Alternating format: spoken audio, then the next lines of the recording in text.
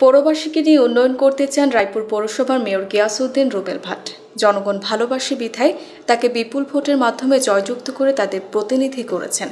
তাই পৌরবাসীকে সঙ্গে নিয়ে পৌরসভার সার্বিক উন্নয়নে কাজ করে যেতে হবে। এই জন্য জনগণের সেবক হয়েই কাজ করে যেতে চান তিনি। বৃহস্পতিবার সন্ধ্যায় মেয়রের নিজস্ব কার্যালয়ে দায়িত্ব গ্রহণের তিন মাস পূর্তি উপলক্ষে উন্নয়ন ও অগ্রগতি নিয়ে প্রেস ব্রিফিংকালে সাংবাদিকদের একথা বলেন রায়পুর পৌরসভার মেয়র গিয়াসউদ্দিন রুবেল ভাট। গিয়াসউদ্দিন রুবেল ভাট রায়পুর পৌরসভা নির্বাচনে প্রথমবারের মতো মেয়র নির্বাচিত হয়েছেন।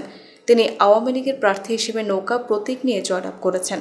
পৌর শহরের উন্নয়ন কাজের বিষয়ে তিনি বলেন, প্রথমত পৌর ট্যাক্সের ওপরে নির্ভর আমাদের পৌরসভার উন্নয়ন ও স্টাফদের বেতন। ইতিমধ্যে পৌরবাসী ট্যাক্সের টাকা দিয়ে পৌরসভার স্টাফদের দুই কোটি টাকা বকেয়া বেতন পরিশোধ করা হয়েছে। রায়পুরে চলাচলের অনুপযোগী রাস্তাগুলোর সংস্কার কাজ করা হয়েছে। ডাকাতিয়া নদীকে উন্মুক্ত রেখে জনগণের ব্যবহারের উপযোগী করে তোলা হবে। আমাদের পৌরসভার ওয়েব ডেভেলপমেন্টের কাজ চলছে, এটি সম্পন্ন হলে ঘরে বসেই পাওয়া যাবে সকল প্রকার নাগরিক সুবিধা। যানজট নিরসনে আমার চেষ্টা শতভাগ অব্যাহত থাকবে।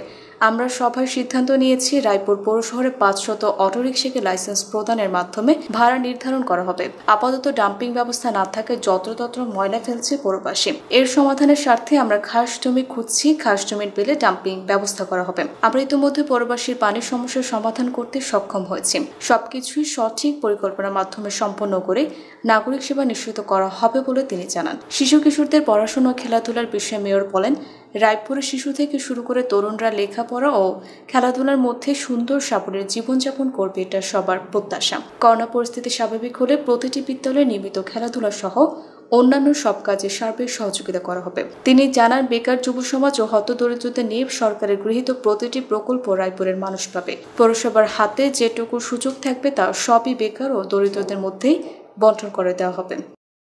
আমি তিন মাসে আমি আমার তিন মাসের যে চলমান বেতন ভাতা, সেটা আমি পরিশোধ করতে সক্ষম হয়েছি।